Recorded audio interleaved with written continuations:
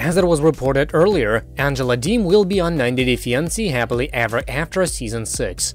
After she filmed for that, however, the grandmother underwent weight loss surgery. Until now, Angela has been extremely coy about showing off the results of the procedure. Finally, she's unveiling her brand new self.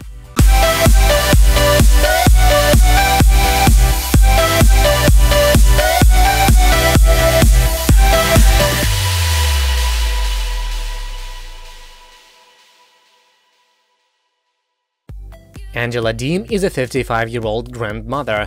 Last January, she and Michael Ilesanmi married in Nigeria. Shortly thereafter, she had to return alone to the United States. Despite being married, the two remained separated by new immigration policy and by the pandemic. While those policies have since changed and some 90 Day Fiancé stars are already benefiting, legal processes take time. Angela has spent her time without Michael and in lockdown working on herself in a big way. As she revealed at the Tell All special, she planned to undergo weight loss surgery. Michael expresses his opposition, emphasizing that he loves Angela just the way that she is, or well, was.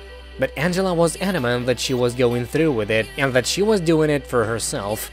This week, Angela Deem officially unveiled her new look in Us Weekly.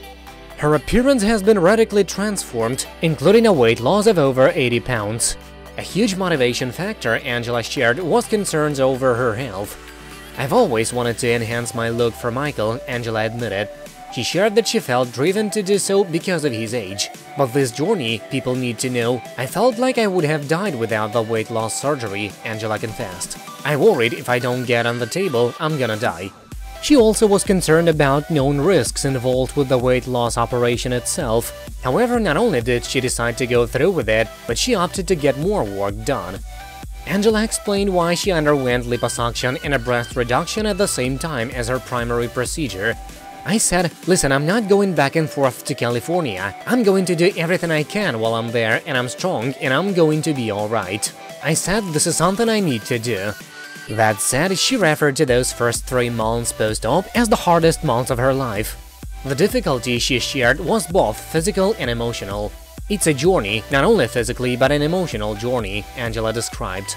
Because you come out of surgery and you just think everything's going to change, she detailed, but actually you can't eat for a couple of months. Angela emphasized that it was her health and weight, not her looks that had her feeling self-conscious.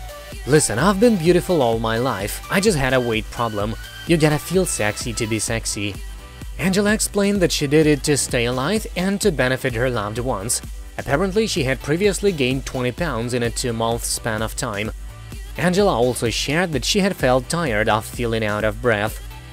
That's it for now, thank you for watching, please subscribe to stay tuned.